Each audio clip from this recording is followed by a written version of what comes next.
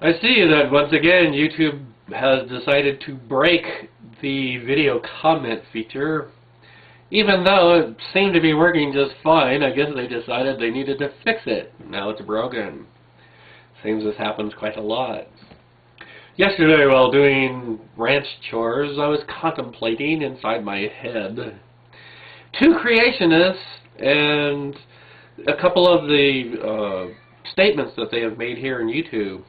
The first one, Daniel Levesque, made a video several months ago where he, wherein he lamented how scientists demarcate between species. As many people out there, I am sure, know, species is defined by reproductive isolation. So if you have a large population of a species, you can call them ferrets perhaps, and a geological feature divides the population in half, uh, such as maybe an ocean or a mountain range or a sea or even a river, I suppose, that they couldn't cross. They are now two different species because they are reproductively isolated. That is how scientists define what a species is. They either cannot or they will not interbreed. The species, not scientists.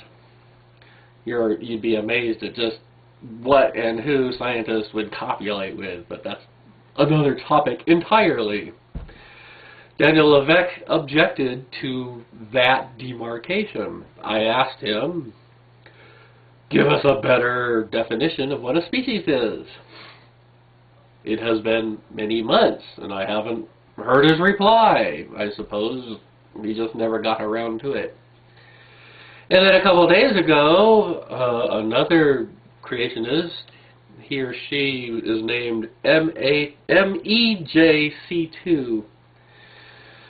Apparently, uh, as far as I can tell, objected to um, how scientists define evolution. I'm not sure if it was actually an objection or not, but he or she called it a straw man on my part. I said that evolution is merely genetic change in a species population, or a population of a species. Genetic change is evolution. Evolution is genetic change. It does not require speciation. Apparently, this person, pardon me, said that that is a straw man because creationists do not uh, deny genetic change in a species.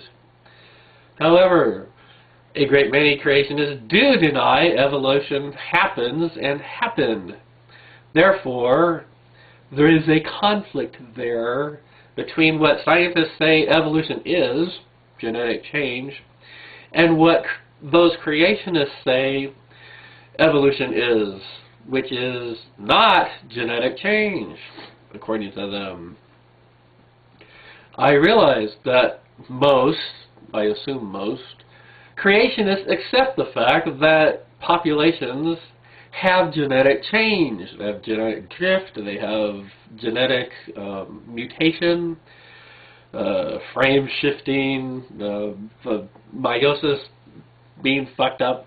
All sorts of different um, changes go on in a species, in their genome, over time. They accept that, but they do not accept the fact that scientists say evolution is a change in a population's genome.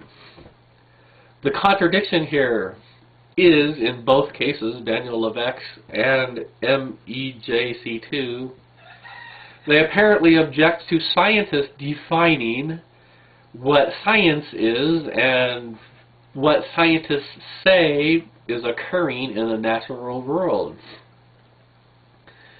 That is the topic of my video here if scientists are not the ones that should be making those definitions and making those uh, explanations, who should be?